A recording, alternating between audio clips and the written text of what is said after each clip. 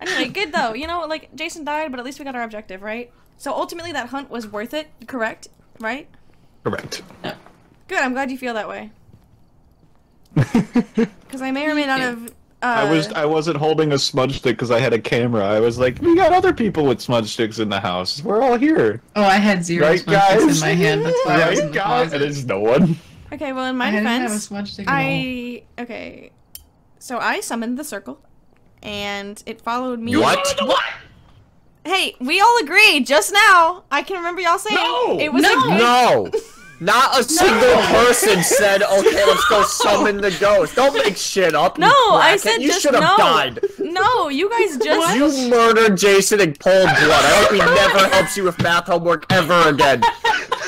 No, no. I said you guys all agree that last hunt was worth it because, and even Jason said yeah. I said no. Jason said yeah, and that's all that Jason was matters. the only one that. That was because we thought it was authentic.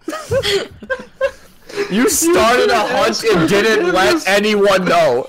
If I let you know, you would 'cause he have left, and our realize it was- sanity wouldn't have dropped. It's No, not my fault Jason doesn't know what a hunt is. How am I supposed to realize I mean, if it- that makes sense though. He wouldn't have been able to hear it from upstairs. Listen, it was chasing me, and it chased me into the garage, and then when I smudged it, it went for Jason.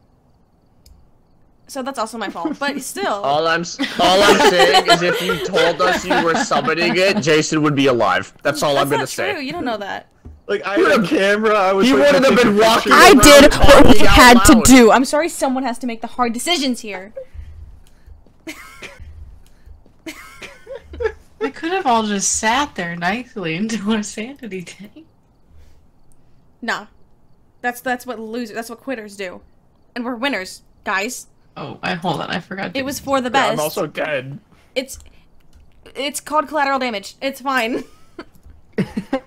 For with Have I some patience and pixie game? dust, we all survive.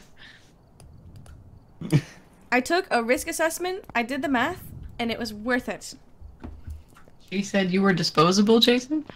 I didn't say that. I said risk assessment.